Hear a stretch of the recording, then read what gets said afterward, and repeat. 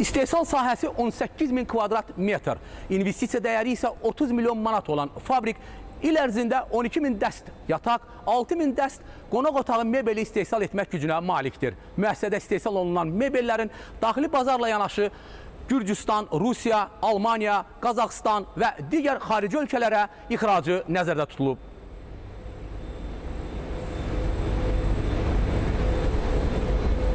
Layihənin davamı olaraq 20 hektar ərazidə ümumi dəyəri 27 milyon manat olan 4 yeni fabrikin masa və oturacaq, süngər, metal məmulatları və döşək istehsalı fabrikləri də tikiləcək. Xammal tələbatının yerli istehsal hesabına təmin edilməsi də nəzərdə tutulur. Şirkət öz işini ən müasir texnologiyalar əsasında qurub. Bu dəzgah İtaliyanın ən qabaqcıl şirkəti olan SCM şirkətinə aiddir.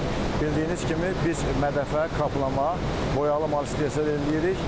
Bu dəzgah dünyanın ən ciddi şirkətlərində öz yerini tapmış bir dəzgahdır. O cümlədən biz də bu yeni nəsil bu dəzgahı gətirmişik öz fabrikamıza.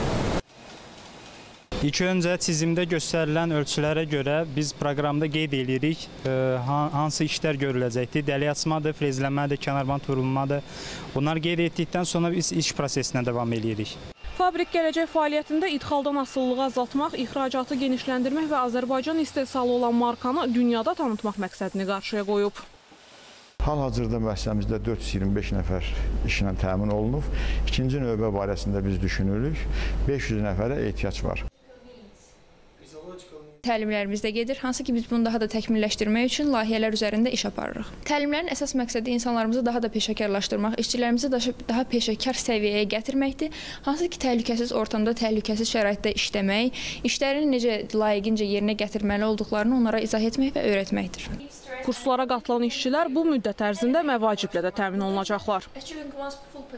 Alməmməd Nəbiyev, Nəzrin Hüseynzadə, ASTV xəbər.